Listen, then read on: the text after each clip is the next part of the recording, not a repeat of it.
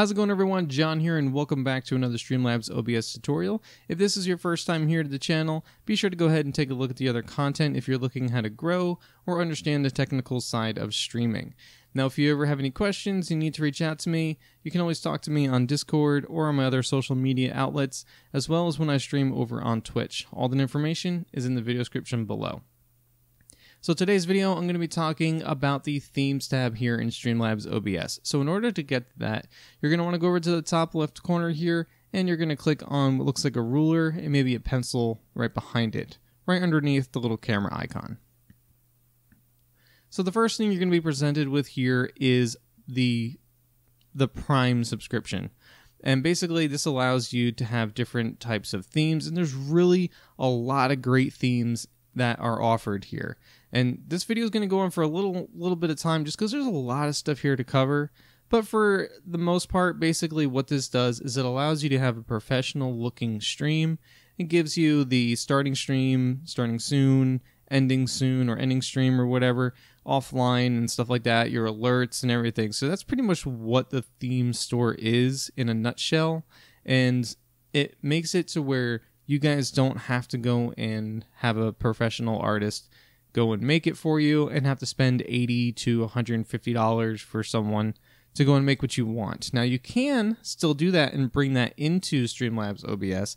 That's not a problem because then it's officially yours. It's treated like an image, it's treated like a browser source, it's treated like an alert.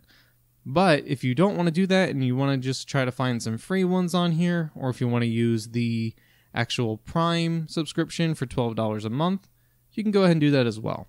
Now, when you do click on sign up, it's going to bring you over to this. So you'll be able to do an annual or if you wish to do monthly. So you can do either one. It's $150 if you do it annually, or it's $20 a month if you're going to do it monthly. Now, even though, where'd it go? No, where'd you go? Well, I believe it was $12 a month. That's what I'm trying to find again. It went away.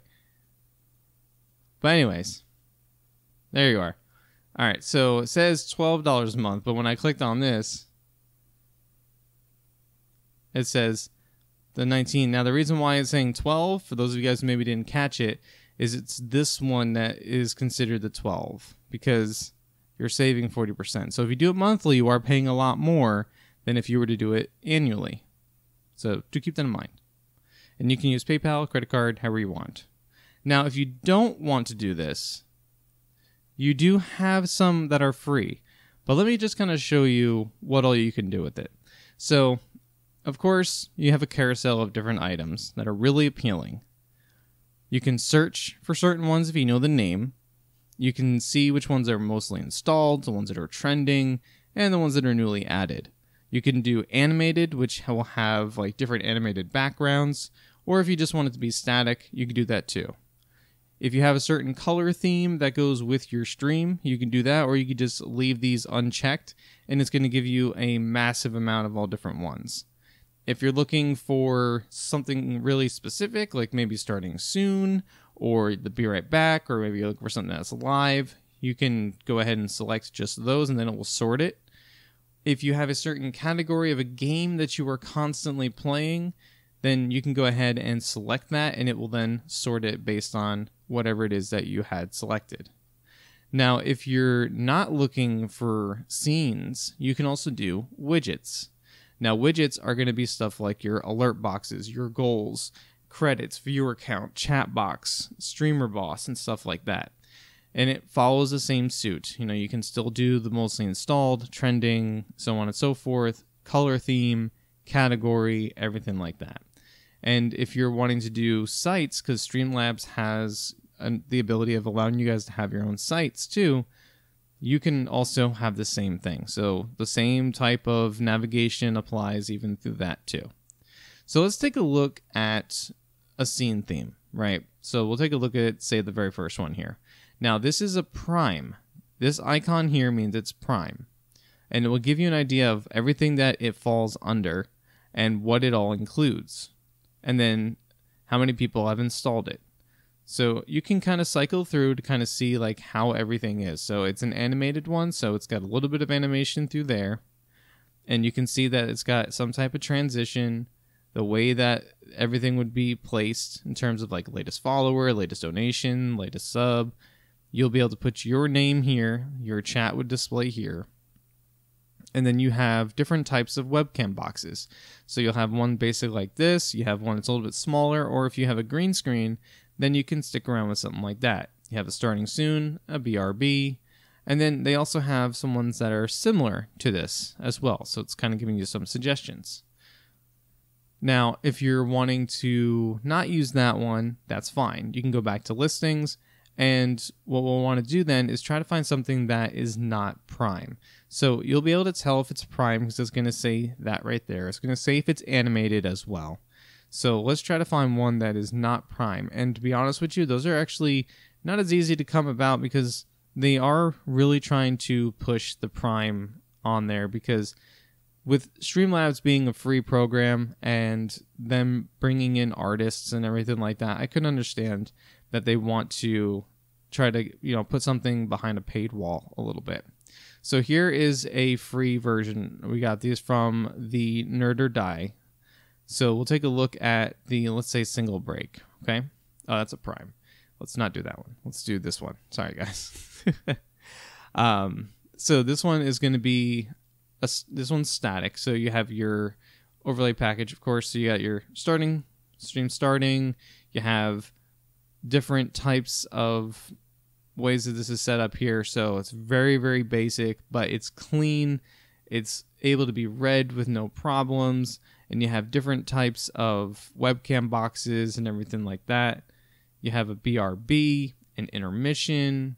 So this is free you to use, and you'll be able to customize the text and everything like that. So that's fine.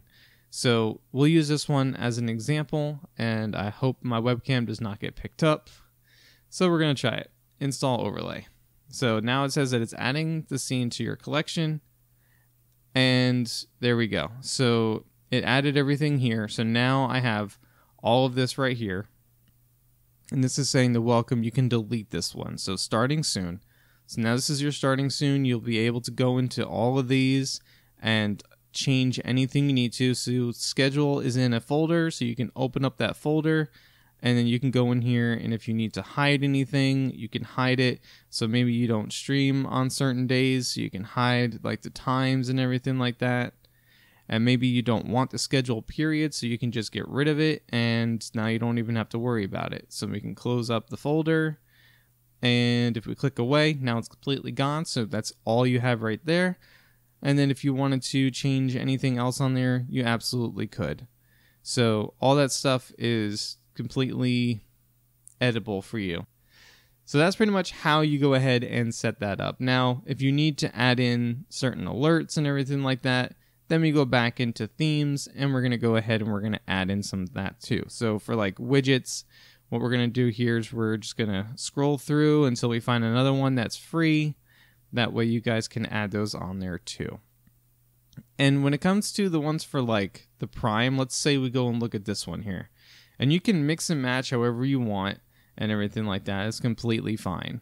So you can kind of like get a preview of how it looks. So when a new sub comes in, it's got a little bit of an animation to it, and it even kind of like has a message for you. So you'll be able to have that for subs and everything like that. But if you wanted to keep everything together, they do have their own theme, and this one's also for a Prime. So if you wanted to, you could go ahead and use something like this. So you could put like a webcam here, or you could put a game there if you are, are going to be stepping away, you know, you can have like your game chair there and have hashtag respect the chair going on in your chat, but you have all this stuff down here. I really do like this one, by the way. I, I love I love the simpleness of it, the simplicity. But I just like how clean it is too. But they even have like a website designed to it. So if you wanted to keep things together, Prime is definitely going to work. But let me see if we can find ourselves a free one. Like I said, they're not always easy to find. As you can tell, I'm constantly scrolling here. So let's see if we could find a free one anywhere. Free, free. Here we go. Free. So if you wanted to have Wait, did it bring me back to? Oh, it brought me back to where I was. Okay, I need widgets. Widgets. I need the free widgets.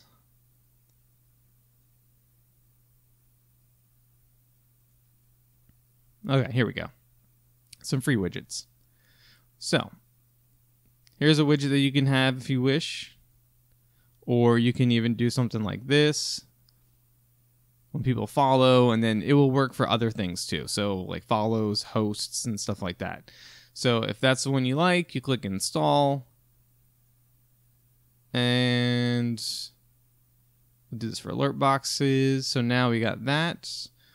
So if I went down here to go and test, let me go ahead and turn those off, turn that off, turn that off.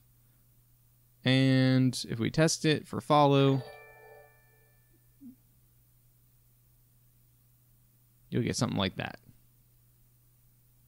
You can have that down there if you wanted to. So now you guys can see it better if I do this. And now you guys have a professional looking stream. Just takes a little bit of time to find what you're looking for. And there you go. And then, of course, if you wanted it to be on like all the other screens and stuff like that, you'll have to then go in there and add it. So if you wanted to add it in there, you just go back in, do alert box, and then you already got one. So then you go ahead and test it again, and there you go. So any screen you want the alerts to be on, you would have to go and add it in there. But guys, that's pretty much how the themes work and everything. You find what you're looking for, you install it, you adjust what you need to adjust, and there you go. But I know this video was a little bit longer because I wanted to explain as much as I could for it. If there was anything that I missed or if you have any questions, feel free to go ahead and talk to me in the comment section below. And like I said, if you guys ever need to reach out to me, all the stuff is inside the video description, and I stream over on Twitch. So if you ever want to come and hang out, you're more than welcome to. We can always talk shop over there as well. But I will catch you guys in a future video. Thank you so much for watching, and take care.